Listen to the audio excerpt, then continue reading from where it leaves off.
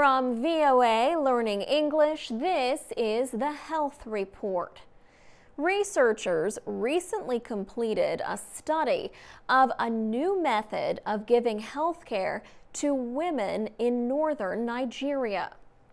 They found women and children would use health services more often when they could see a female health worker. Northern Nigeria is a conservative, mostly Muslim area. Dr. Sally Findley from Columbia University Medical Center co-wrote the study. She said it is unusual for women to work as healthcare providers there. Nigeria has one of the world's highest death rates for women who are pregnant or are giving birth. And the highest rate is in the country's north. Male health workers do travel from town to town, but many women patients do not want to talk with a man about their own health care needs.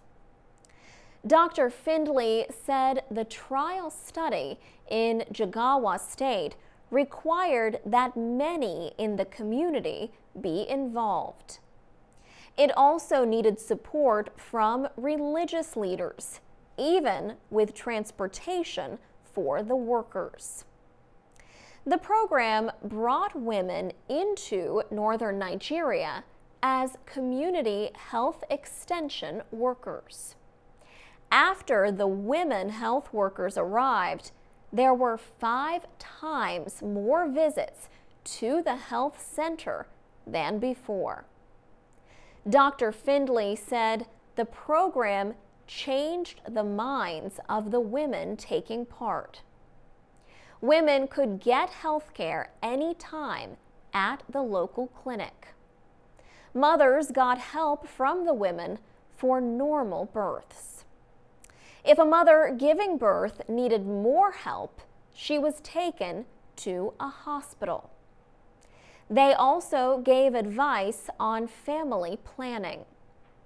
State officials in Jigawa were happy with the positive results of the study. They plan to expand the program of women community health workers. For VOA Learning English, I'm Alex Villarreal.